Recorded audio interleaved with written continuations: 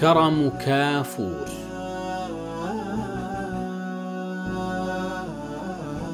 أساء المتنبي إلى كافور الإخشيدي إساءة بالغة إذ أمعن في هجائه دون وجه حق فقد أعطاه كافور أكثر مما كان يعطيه سيف الدولة فلم يقنع إذ كان يطمع في أن يكون واليا على إقليم كبير وهذا ما صرح به في قوله وغير كثير أن يزورك واجل فيرجع ملكا للعراقين واليا.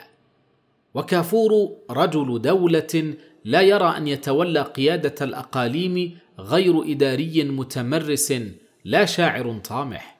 فكان بعيد النظر حين أبى أن يجعل المتنبي في موضع لا يملأه.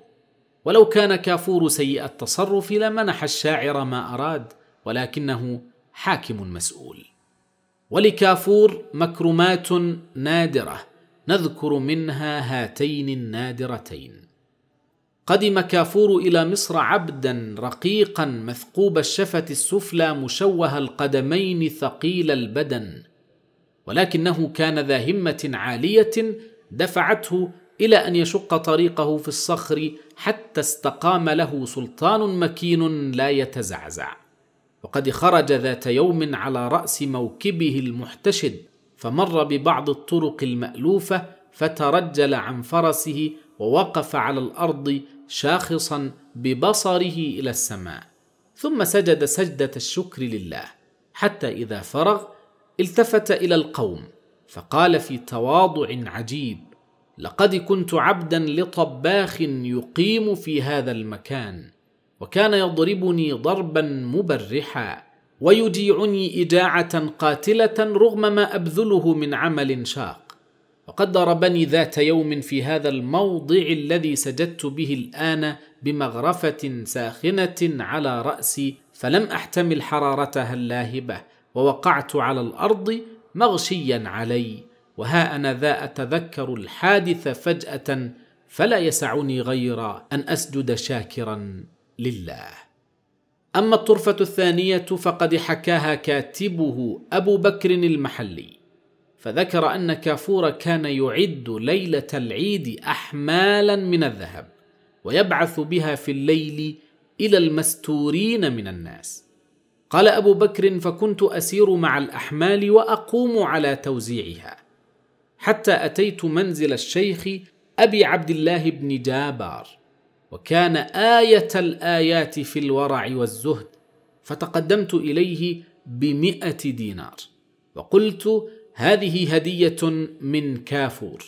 فقال الشيخ قل له نحن نحبه لله وندعو له في الصلوات وما نفسد الدعاء بصلة من المال.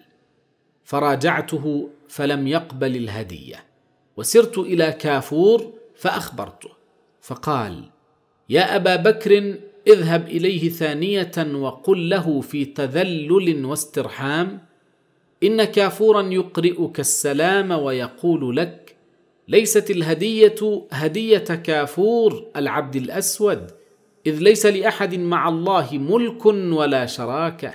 أتدري من معطيك؟ وعلى من رددت؟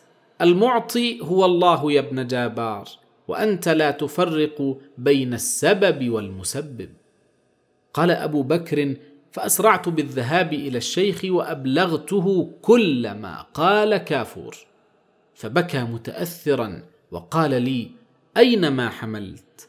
فأخرجت الهدية فأخذها وقال لقد علمنا الأستاذ الورع والأستاذ لقب كافور. فقلت له أحسن الله جزاءك. ومضيت إلى كافور فأخبرته بقبول الهدية. ففرح فرحا شديدا كأنما بشر بتحقيق أمل عزيز.